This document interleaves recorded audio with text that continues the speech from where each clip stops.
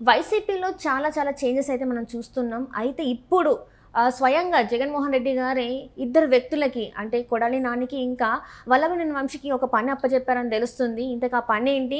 వాళ్ళు అది నెరవేర్చారా లేదా? సో ఈ అంశాన్ని మనకు క్లుప్తంగా వివరించడానికి మనతో పాటు ఉన్నారు ప్రముఖ రాజకీయ విశ్లేషకులు కృష్ణకుమారి గారు. నమస్కారం మేడం. నమస్తే. మేడం ఇప్పుడు చూస్తున్నట్టయితే జగన్మోహన్ రెడ్డి గారు కొడాలి నానికి ఇంకా వల్లభనేని వంశీకి ఒక పని అప్పచెప్పారు అని చెప్పేసి అయితే మనకి వార్తలు వస్తున్నాయి. ఇంతకు ఆ పని ఏంటి? ఆ జగన్మోహన్ రెడ్డి గారు చెప్పిన పని వాళ్ళు అసలు చేశారా లేదా? అంటే వల్లభనేని వంశీకి కొడాలి నానికి వంగవీటి రాధాని వైసీపీలోకి తీసుకురావాల్సిన బాధ్యతను అప్పచెప్పారు అని తెలుస్తుంది. అందుకే వాళ్ళిద్దరూ వెళ్ళారు అని తెలుస్తుంది. ఇప్పుడు ఎన్నికల సమయం కాబట్టి వాళ్ళిద్దరూ నోటికి పని చెప్తే బాగుండదని అని మామూలుగా ఇంతకు ముందంతా చంద్రబాబు నాయుడిని చంద్రబాబు నాయుడు కుటుంబాన్ని తిట్టిచ్చారు కదా.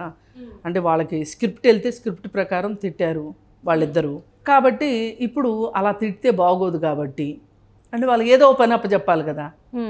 మరి తెలుగుదేశం నుంచి తీసుకొచ్చినందుకు గాను ఓ పని అయితే చెప్పాలి కదా వాళ్ళకి. వాళ్ళని వాడాలి కదా. ఆ వాడకం కోసం వాళ్ళని ఇప్పుడు రాధా ఇంటికి పంపించారు. రాధా ఇప్పటికీ మూడు సార్ల నుంచి నాలుగు సార్ల వరకు ప్రెస్ వాళ్ళు అడిగినా ఎవరు అడిగినా నిష్కర్షగా నేను వెళ్ళను అని చెప్పటం జరిగింది. ఏది? ఆ, వైసీపీ పార్టీలోకి. రైట్ అతనికి వెళ్ళే ఉద్దేశం కూడా లేదు. మరి అలాంటి పరిస్థితుల్లో ఎందుకు అతన్ని పార్టీలోకి మళ్ళీ వెనక్కి తెచ్చుకోవాలి? ఒకప్పుడు కొన్నాళ్ళు పనిచేశాడు. వైసీపీలో ఉన్నాడు.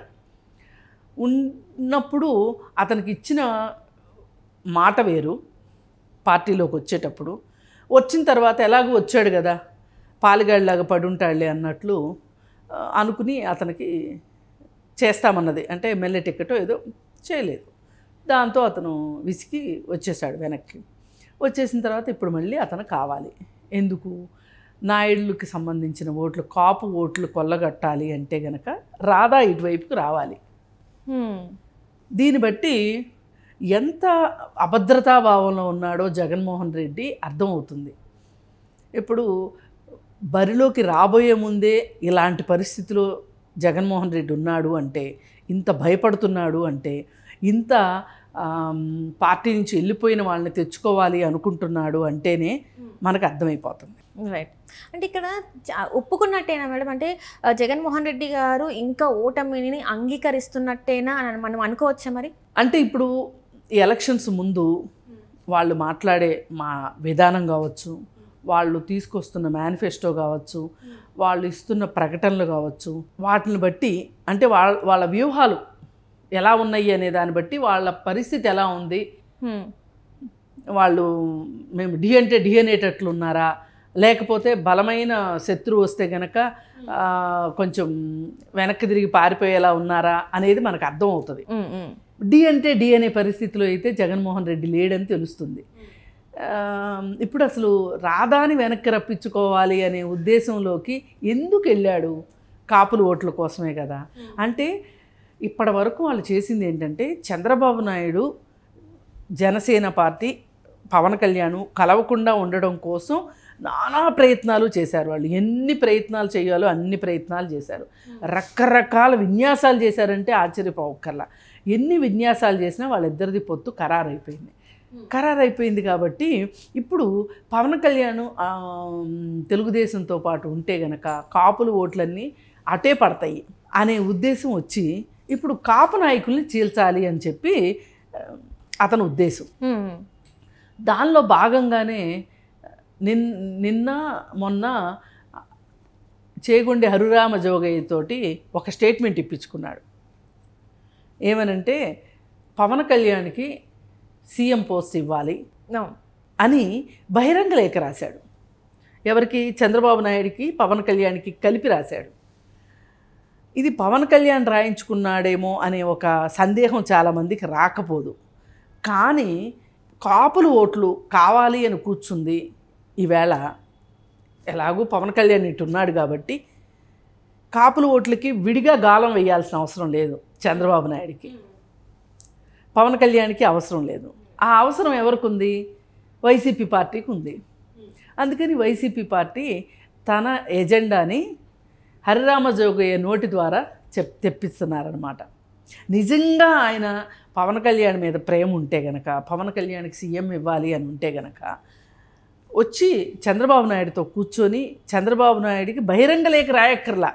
సీక్రెట్ లేఖ కూడా రాయొచ్చు.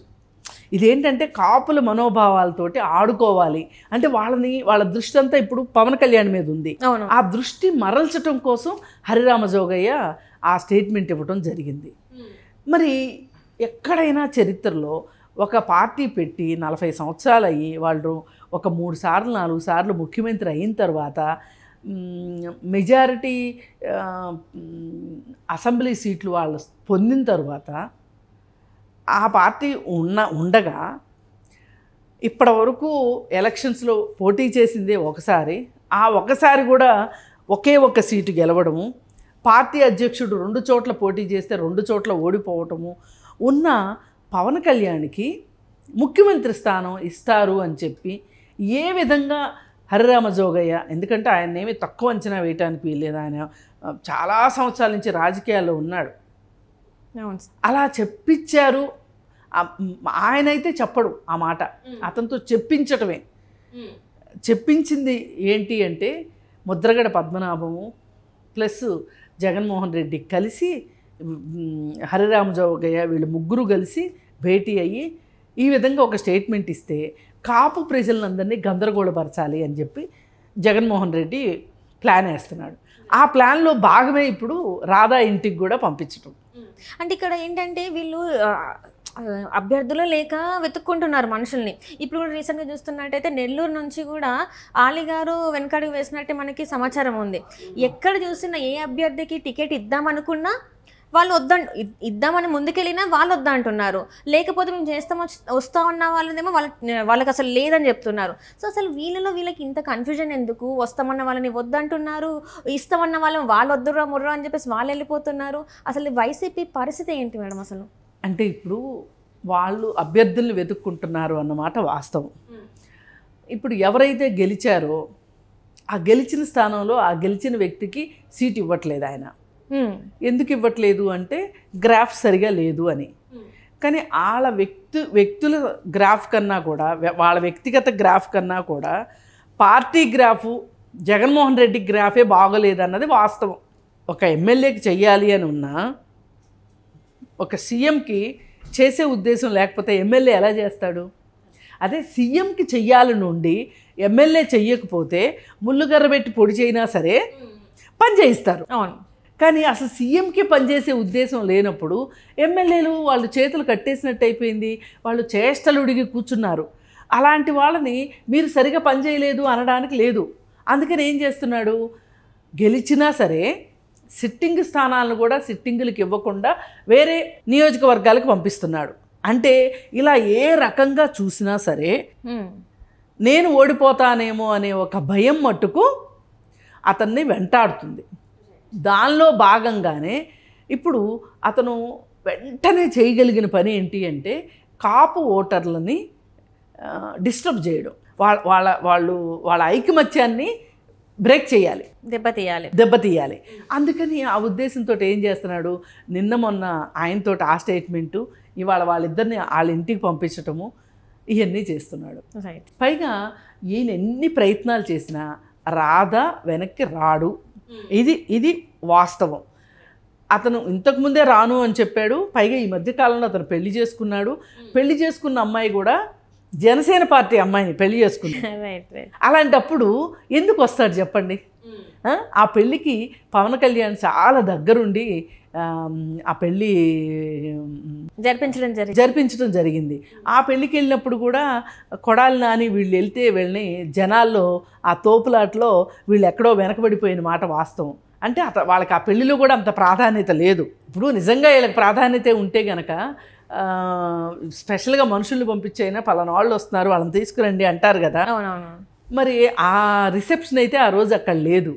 ఏది ఏమైనప్పటికీ మనకు అర్థమైంది ఏంటి అంటే జగన్మోహన్ రెడ్డి చేతులు గాలిన తర్వాత ఆకులు పట్టుకుంటున్నాడు. దానిలో భాగంగానే ఇలాంటి ఎత్తులు పై ఎత్తులు వేద్దామని చూస్తున్నాడు కానీ ఇవేమి వీటికి సమయం దాటిపోయింది. నిజంగా గనక ఇ- ఇలాగ కావాలి అని అనుకుంటే కాపులు ఓట్లు కావాలి అని గనక అనుకుంటే గనక అతని స్ట్రాటజీస్ వేరేగా ఉండుండాలి. నిజానికి పవన్ కళ్యాణ్ ఎంత సినిమా యాక్టర్ అయ్యుండి ఒక కాపు కాపు కులంలో ఉన్నందుకు గాను అతను కేవలం కాపు కులానికి మాత్రమే ప్రాధాన్యత ఇచ్చేలాగా ఏ రోజు లేడు పవన్ కళ్యాణ్. కాపులే అతను ఓన్ చేసుకున్నారు తప్పితే ఇతను నాకు కేవలం కాపులు మాత్రమే కావాలి అనే ఉద్దేశంలో పవన్ కళ్యాణ్ లేడు. ఏ రాజకీయ పార్టీ కూడా అట్లా ఉంటే ఒక కులానికి సంబంధించి ఉంటే అది ఎందుకంటే ఒక కులం వాళ్ళే ఓట్లు వేస్తే ఎవరైనా గెలుస్తారా? అన్ని కులాల వాళ్ళు వెయ్యాలి కదా.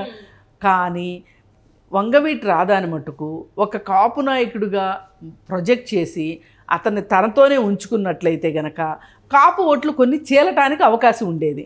ఇప్పుడు ఆ పరిస్థితి లేదు కాబట్టి అతను చాలా అంటే జగన్మోహన్ రెడ్డి ఎక్కవలసిన రైలు ఒక జీవితకాలం లేటు అని చెప్పుకోవచ్చు దీన్ని బట్టి. Right thank you so much thank you